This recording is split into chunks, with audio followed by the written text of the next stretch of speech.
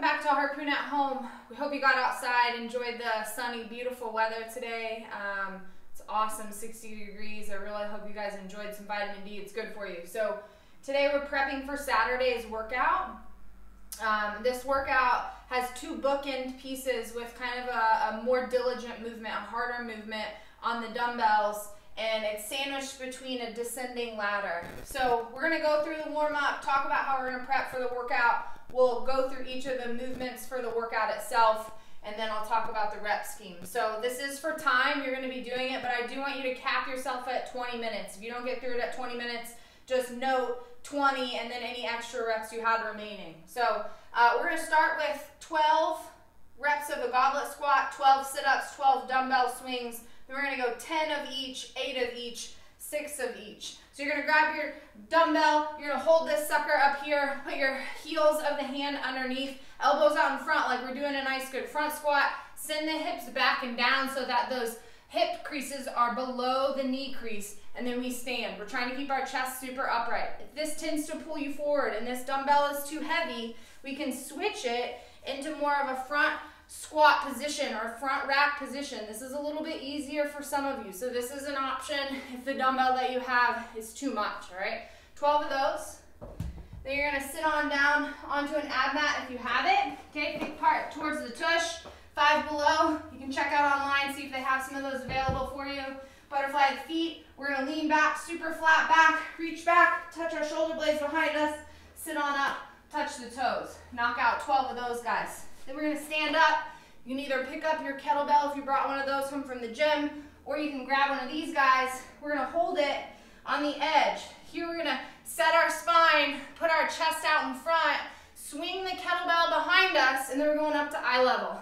All right, 12 of those, similar setup that we would do if we had the kettlebell itself.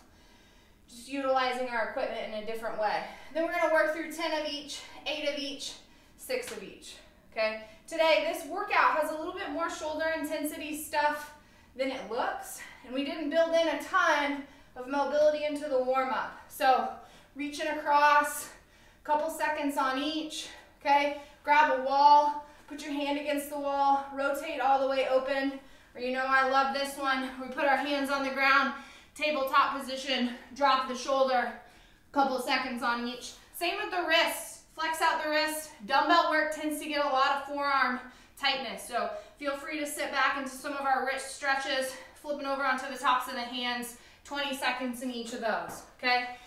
Then, once we're done, we're gonna prep each workout movement with the man maker, okay? I want you to practice these for about 15 seconds before you get going, a couple times through. Man maker, we put our hands on the dumbbell.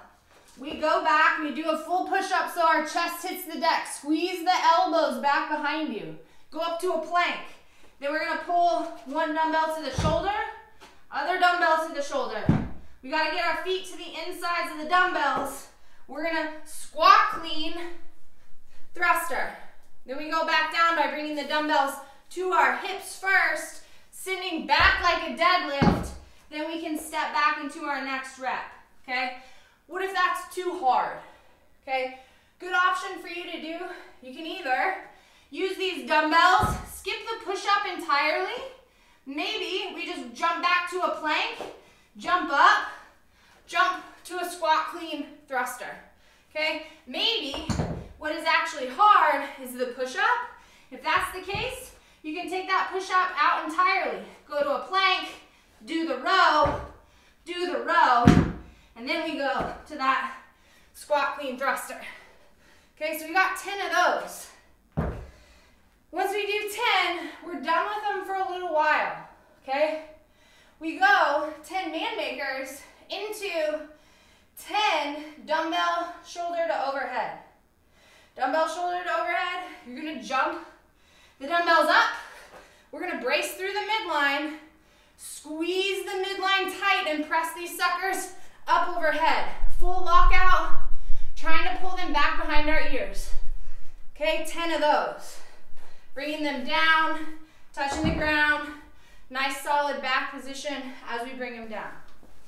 All right, so for those of you that don't have a box at home or don't have um, something at home that we normally would do jump ups on, we're gonna use maybe a really steady stair.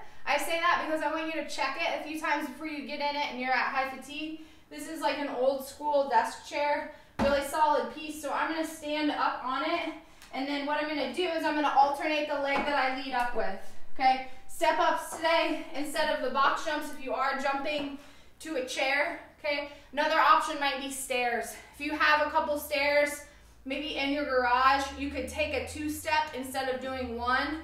Last option, if you don't have any of that, is to go to the lunge. Okay, anything single leg where we're supporting ourselves with one leg option.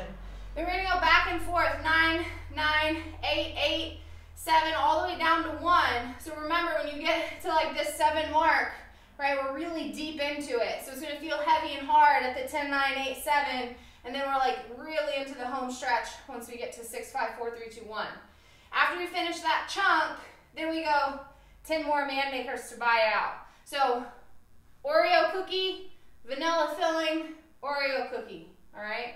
Then before we get into the whole workout itself, I do want you to spend a little time getting your heart rate elevated. So you're gonna run a clock, spend 15 seconds on the man maker, 15 seconds on the dumbbell shoulder to overhead, 15 seconds on the box jumps, cycle through that two to three times, kind of depending on how warm you are from the rest of your day, all right?